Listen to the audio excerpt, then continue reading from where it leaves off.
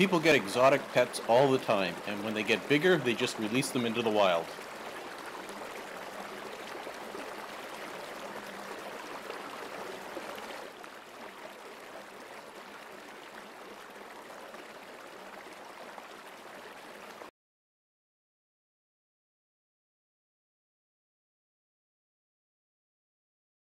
This is our beautiful shop. We opened last year and we're so proud to meet our beautiful customers.